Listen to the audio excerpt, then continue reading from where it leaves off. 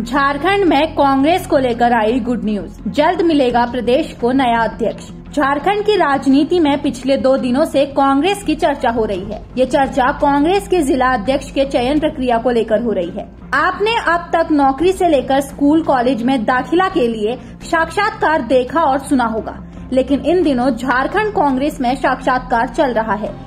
ये साक्षात्कार 24 जिलों के अध्यक्ष पद के लिए चल रहा है। जिला स्तर पर चयनित जिला अध्यक्ष के दावेदारों को रांची बुलाया गया है।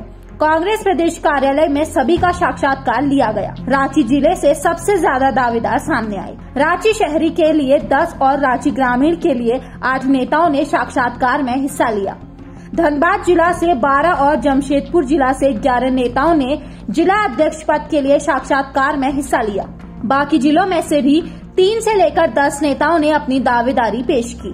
साक्षात्कार में सदस्यता अभियान में भूमिका, हाल के दिनों में कांग्रेस के कार्यक्रम में भूमिका, कांग्रेस का इतिहास और अपनी दावेदारी की मज़बूत वजह से संबंधित सवाल पूछे गए। सबसे बड़ी बात यह है कि जिला अध्यक्ष के लिए प्रदेश प्रवक्ता तक ने साक्षात्कार दिया।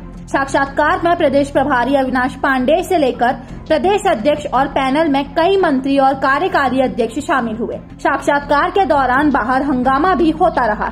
जिन्हें अंदर साक्षात्कार के लिए नहीं बुलाया गया, उन्होंने अपनी उपयोगिता की कहानी खुद की जुबानी सुनाई। विरोध में नारेबाजी और पक्षपात का आरोप और पुराने लोगों के तवज्जो नहीं दिए जाने का मामला गूंजा। कांग्रेस नेताओं ने साक्षात्कार को संगठन के अंदर पारदर्शिता के साथ जोड़कर बताया।